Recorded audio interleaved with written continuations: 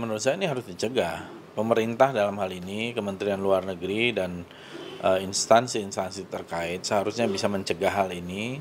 Ya, diplomasi kita harus lebih kokoh, ofensif untuk mencegah berbagai upaya yang bisa mempengaruhi uh, terjadinya uh, satu tindakan atau kebijakan termasuk dari institusi internasional yang mengarah kepada referendum ya atau pen, jajak pendapat. Saya kira kita harus menyatakan bahwa itu sudah final. Bahwa soal Papua, Papua Barat itu sudah final merupakan bagian dari Republik Indonesia dan tidak ada tawar-menawar.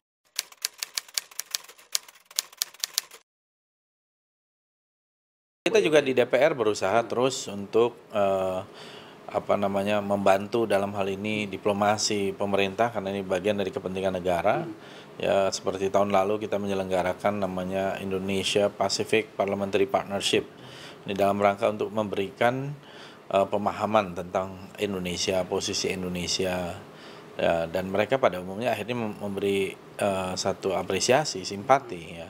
Saya kira tinggal ada satu dua negara saja, mungkin satu lah negara yang masih uh, apa bersikukuh soal itu.